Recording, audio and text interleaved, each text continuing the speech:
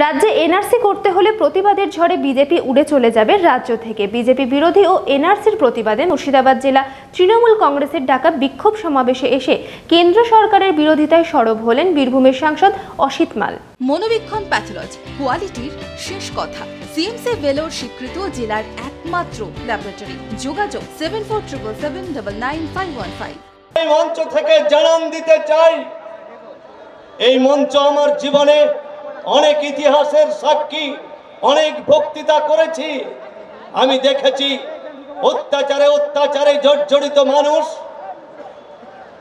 জেলে থাকা মানুষ, বামফ্রন্টের সঙ্গে লড়াই করেছেন মৃত্যু বরণ করেছেন, কারাগার বরণ করেছেন, তবুও পিছু হটেননি এই মুর্শিদাবাদ। আগামী দিনেও এনআরসি করতে এলে পশ্চিম বাংলা থেকে শুরু হবে। তার প্রতিবাদ, ভয়ঙ্কর প্রতিবাদ, যে প্রতিবাদের ঝড়ে বিজেপি উড়ে চলে যাবে।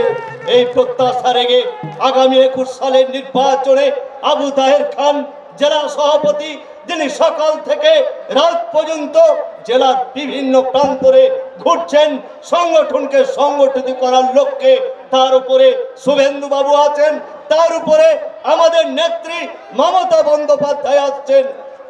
একটাই শপথ নিয়ে যাবেন দু হাজার একুশ সালের নির্বাচনে মুর্শিদাবাদের একুশটা সিটেই বিপুল ভোটে জয়যুক্ত করে পশ্চিমবঙ্গে নতুন করে একটা আবার সরকার তৈরি করার সম্ভাবনাকে উজ্জ্বল করে দিবে। হোটেল সানশাইন এখন আরও আধুনিক আরও উন্নততর একশো রুম বিশিষ্ট ছ ছটা ব্যাঙ্কোয়েট হল ও সর্বোপরি জেলার একমাত্র ভেজ ব্যাঙ্কোয়েট হল।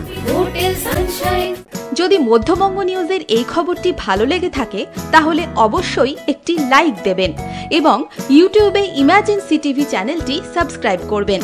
আর যে কোনো খবরের দ্রুত আপডেট পেতে সাবস্ক্রাইব করার পর বেল বাটনে একটি ক্লিক দেবেন।